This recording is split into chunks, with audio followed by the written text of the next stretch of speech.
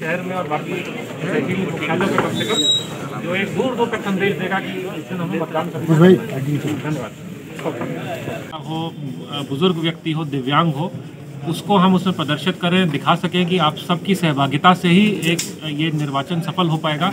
यदि आप सब निर्भीक होकर निष्पक्ष होकर अपने मत मताधिकार का प्रयोग करेंगे तभी हम लोग कोशिश कर सकते हैं कि जो पिछली बार हमारा मतदान प्रतिशत था, सड़सठ प्रतिशत, उससे हम कहीं आगे बढ़ें। और कोशिश करते हैं, प्रयास करते हैं कि इस बार डिस्टिंक्शन को हम लोग छुएँगे। कई नए मतदाता भी इस बार बने, में उनसे भी आग्रह करूँगा कि आप लोग भी आगे आएँ और मताधिकार का प्रयोग करें।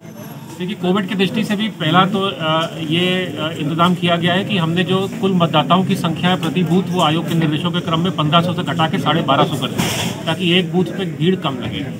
प्रत्येक हमारी जो मतदान कार्मिक है और जो टीम है, उनको फ्रंटलाइन वर्कर घोषित किया गया है। उन सभी को दो दो टीके लगवाए जाएँगे और अगर उनकी पात्रता होगी तो उनको बूस्टर डोज भी लगवाया जाएगा। सबको हम कोविड से बचाव की पूरी ग्लव्स सैनिटाइजर मास्क इत्यादि उपलब्ध कराएँगे।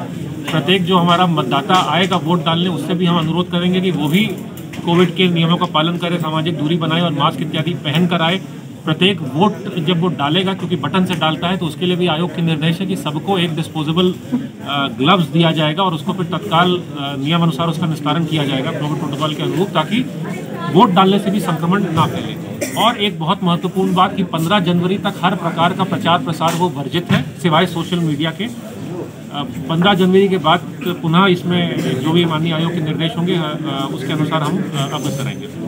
किया है और जहाँ तक लाइसेंस की बात करें तो हमारे जनपद में लगभग पंद्रह हज़ार आठ सौ बारह लाइसेंस पुलिस की रिपोर्ट के अनुसार है, जिसमें आज तक की स्थिति में दस हज़ार छह सौ चौंतीस लाइसेंस को पुलिस द्वारा थाने और दुकानों पर जमा करा लिया गया मैं आपके माध्यम से अपील करूँगा कि लोग अधिक से अधिक संख्या में अपने लाइसेंसों शस्त्रों को जमा कराएँ, और इसके अलावा बहुत सारे ऐसे लाइसेंसी हैं जिनके लाइसेंस विभिन्न कारणों से, चाहे उन्होंने उसका मिसयूज किया हो, कारतूस का सही वो अपना रिपोर्ट ना दे पाए हो, या उन्होंने अपने असले में अनेक नियमों का उल्लंघन किया। उसके तहत लगभग 200 से ज़्यादा असलों के निरस्तीकरण की कार्रवाई प्रोसेस में है। ऐसे ही असलों को जल्द ही निरस्त भी किया जाएगा।